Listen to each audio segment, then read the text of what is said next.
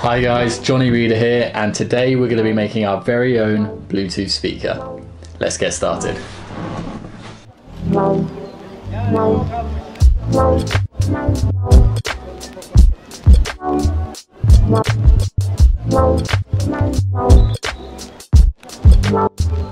Start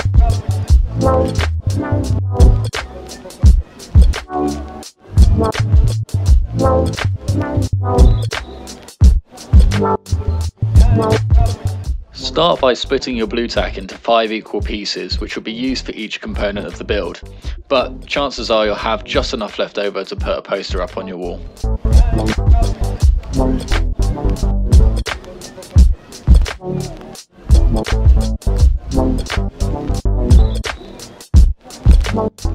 If you look closely at the holder for the driver, you'll notice a slanted edge and we want to face that back towards the rear of the driver. So in this shot here, that slanted edge is facing up towards us and the camera.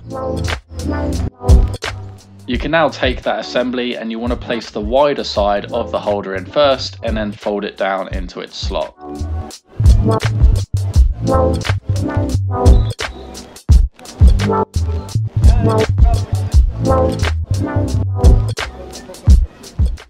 Screwdriver isn't magnetic, you can use some trusty old Blu-Tack to hold your screw in place whilst you line it up with its slot.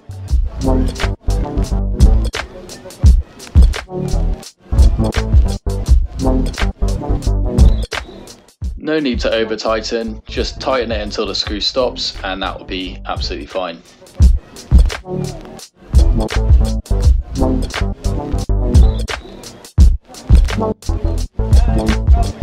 won't.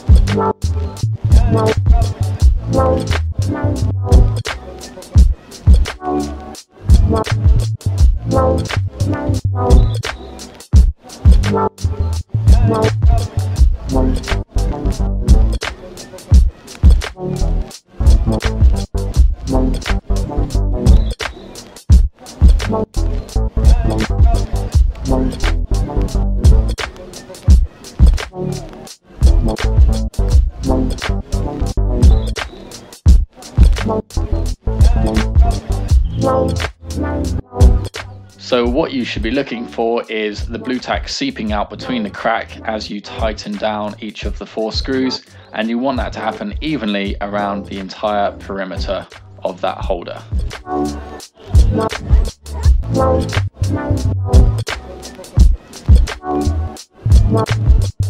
At this point it's a good idea to take a knife or a flathead screwdriver and just trim away some of that excess Blu-Tack. So what you want to do is be cutting it away as opposed to peeling it out from the slot.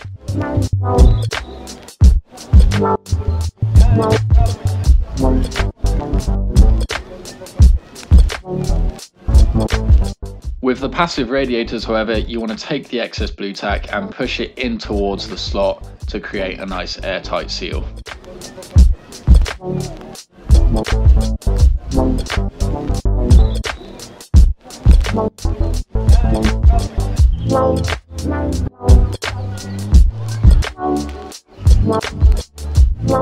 Avoid covering these two holes with the Blu-Tack as they let the charging light LEDs shine through the case.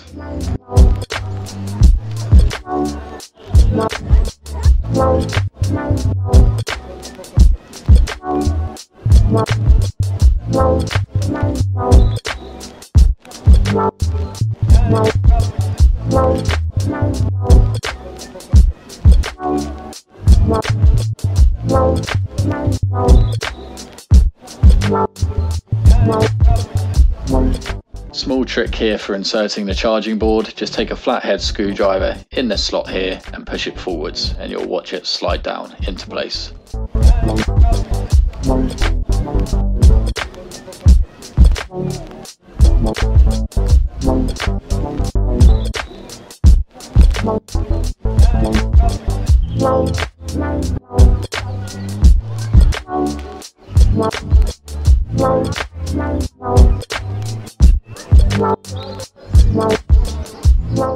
Whichever way the red cable faces on your switch is the direction you will flick the switch to turn it on. So if the red cable is at the top, you will flick the switch up to turn it on.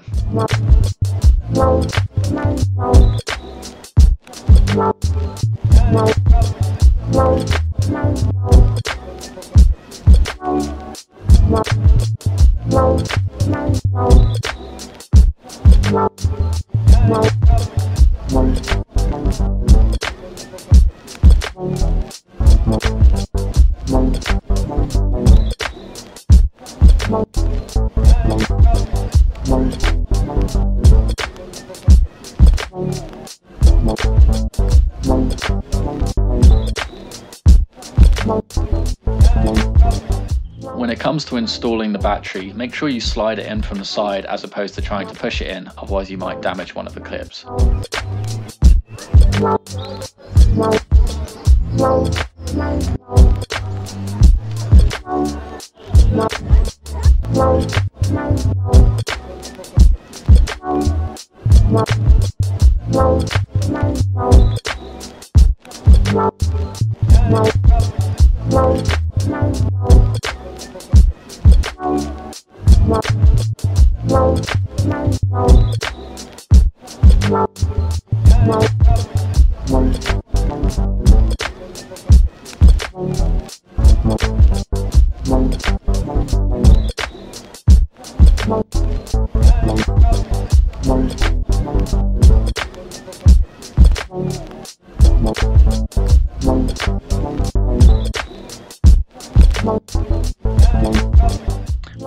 Here is mark one of the speakers so that when you come to put the sleeve on, you know which side is which. So we're just going to mark the left driver here with a permanent marker.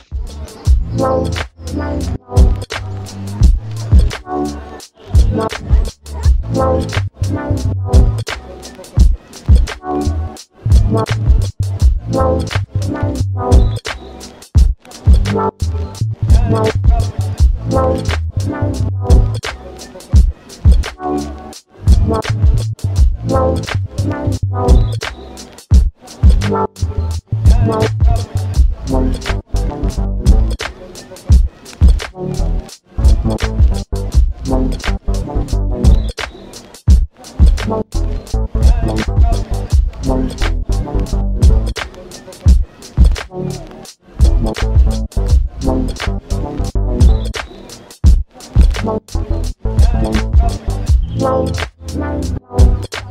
is where your marking comes into play. So we place that left speaker where it says SPKL and then place the right speaker in the upper remaining slot.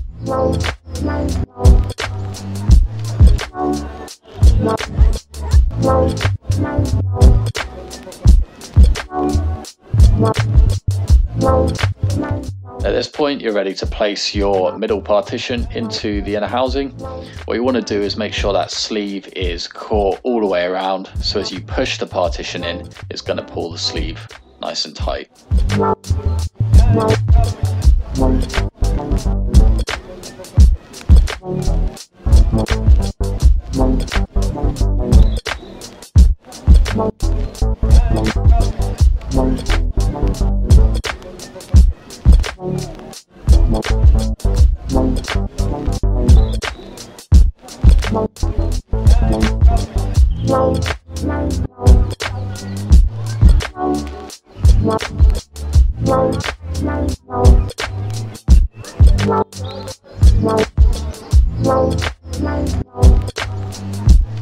There is actually a built-in switch which we're going to bypass, so you want that to be in the off position, and that's with it up towards the top, as shown here. So once you've checked it all works and turns on fine, you're ready to slide that inner housing into the outer casing. First, just make sure you're not going to snag any cables as you push it in, and then just gently pull it all the way to the rear of the enclosure. Also make sure that the connectors aren't going to be touching the passive radiators as that will cause some buzzing when you come to try it out. Providing you haven't caught any cables or the capacitor on the charging board which you can bend out the way, you should have a nice even lip around the entire perimeter. Before screwing it together, it's worth checking the charging board works, so you should have a red LED when it is charging and a blue LED when it's completely finished. Wow. Wow. Wow.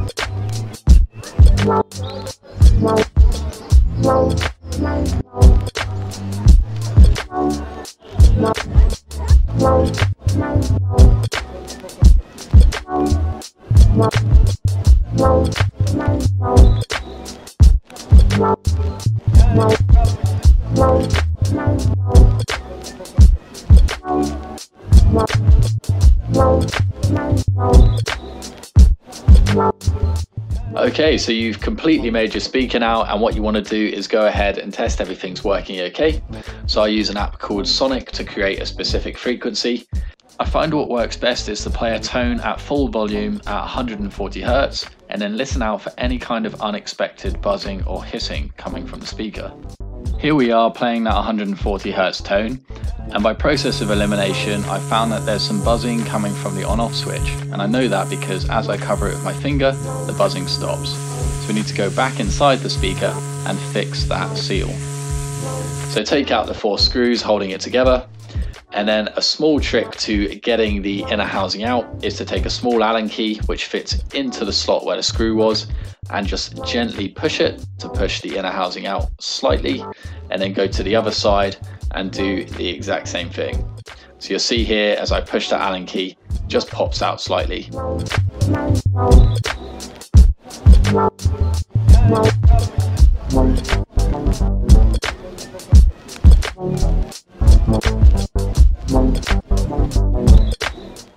Eventually you get to this point and then you can just use your fingers again, going side to side, just prying it bit by bit and then carefully removing it at the end so as not to pull on any cables. Now you can go ahead and go to town on that problem area. So you can see here I've completely covered that switch in Blu Tack and that should have hopefully fixed our buzzing problem. All that's left to do now is to put everything back together ready for another test.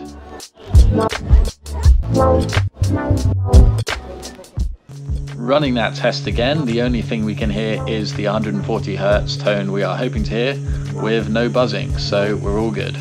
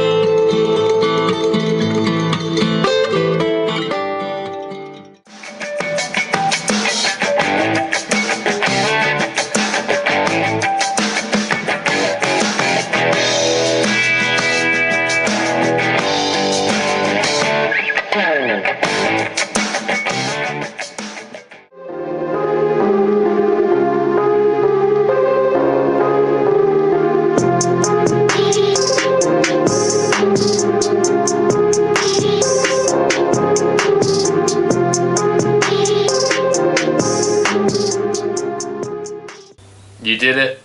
You made your very own Bluetooth speaker, or at least I hope you did, and you didn't get lost somewhere in the middle of the video and now you've just got a mishmash of cables and you're cursing at me through the screen. But assuming it all went well, I hope you had lots of fun making it. And if you do want to get one of these kits for yourselves, you can get them from my website. It's jcracoustics.co.uk. I'll put a link down below in the description. There's three different colors to choose from, or I mean, I guess you could get all three if you wanted, and that would be cool as well. But either way, I hope you got something out of this video, and if you did, please like, rate, and subscribe. And I hope that you enjoy making your kits. But until then, keep designing, keep making, and keep on creating.